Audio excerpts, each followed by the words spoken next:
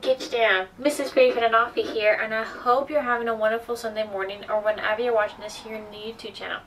Now, today we have two announcements, and then we're going to do worship. So let's go through our announcements. Our announcements is tonight we're doing our Fall Fest. Come out. It's a fun time. There's some games, there's prizes. There's going to be so much fun. I might be dressing up as, I don't know, you have to wait. You have to find out. So come out. It's at Columbia Presbyterian Church at 5 p.m. It's during our community meal. There's chili, there's going to be popcorn, games, prizes, all that fun stuff. And two, you know, now we're getting closer to the Christmas season. We are doing Kids Christmas. We are giving a free breakfast, and there might be a special guest. We're not going to announce who just yet but it's a free breakfast and a special guest and some other things going on. If you want to come to that, that is December 17th at 9 a.m.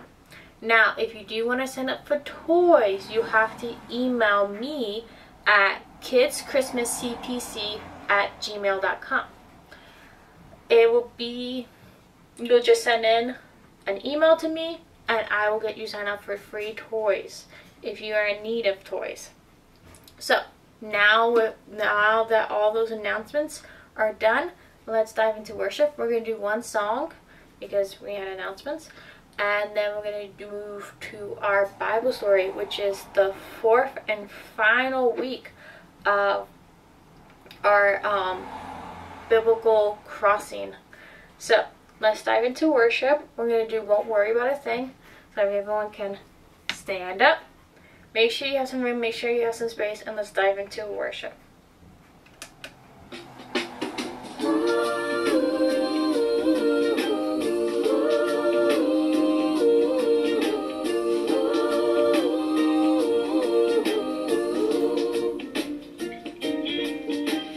Free like a bird in the big blue sky, not a cloud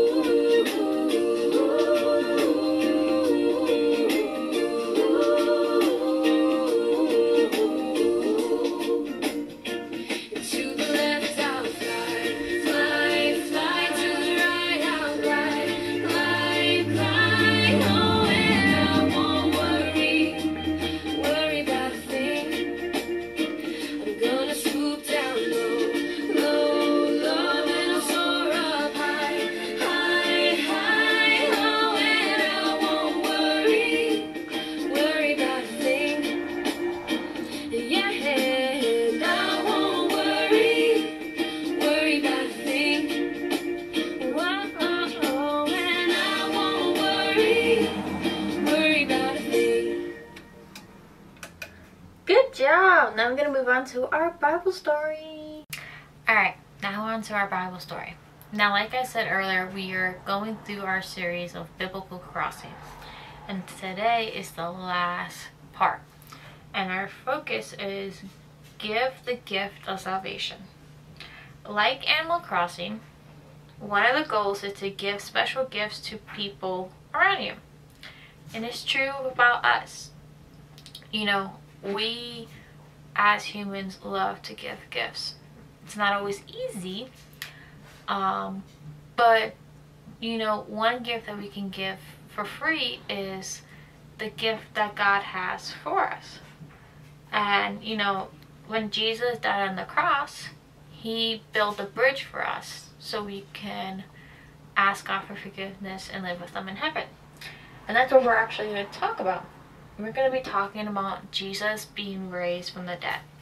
If you want to follow along, we are in Mark 16.